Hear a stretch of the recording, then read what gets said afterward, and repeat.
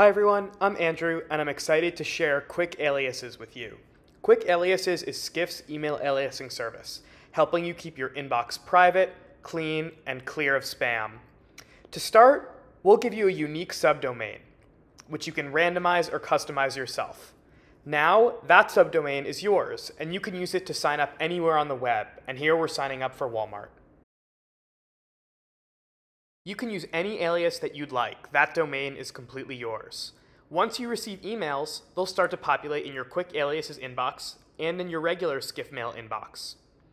Here you'll see that we use the alias Walmart, and we can filter by the aliases that we've used.